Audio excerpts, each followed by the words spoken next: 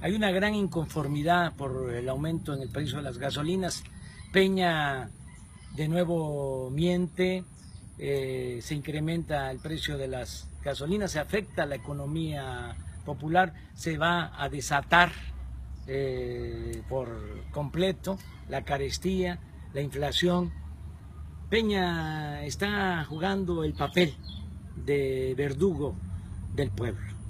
Eso está quedando de manifiesto, pero también hay que tener en cuenta no dejar pasar el oportunismo y la hipocresía de los panistas que ahora están protestando. Cuando ellos apoyaron a Peña, ellos aprobaron la reforma energética para que la industria eléctrica y la industria petrolera pasara a manos de particulares para que se hicieran jugosos negocios al amparo del poder público.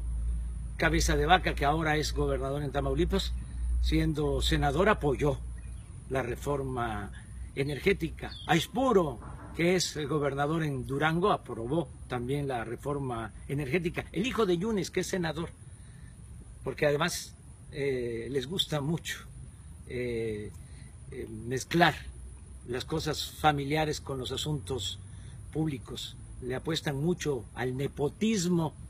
El hijo de Yunes, senador, y ahora el papá, gobernador de el PAN en Veracruz. Bueno, la hermana de Felipe Calderón también aprobó la reforma energética.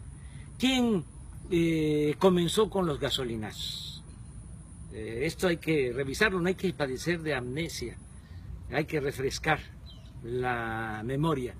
El primero que empieza a aumentar periódicamente el precio de las gasolinas es Felipe Calderón. Bueno, el anterior presidente del PAN, Madero apoyó el pacto por México, el pacto contra México y desde luego la reforma energética. El actual presidente del PAN, este aprendiz de mafioso, que ayer declara que fue exagerado el precio de las gasolinas y que este, está pidiendo de manera hipócrita una revisión a los impuestos que se cobran por las gasolinas. Bueno, todos ellos aprobaron la reforma energética. Hay que estar muy conscientes de este tema. Hay que seguir insistiendo de que el PRI y el PAN son lo mismo, porque es bastante el oportunismo. de ayer, eh, senadores del PRI, todos, solo falta eh, que Calderón exprese también su inconformidad y la esposa de Calderón de manera oportunista. Bueno, eso es lo que caracteriza a los panistas, la hipocresía. Los priistas son corruptos cínicos, los panistas son corruptos hipócritas.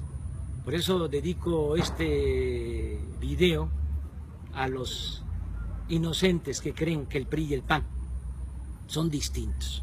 La verdad es que son lo mismo, es el PRIAN. Afortunadamente ya muchos mexicanos, millones de mexicanos, están despertando, están tomando conciencia.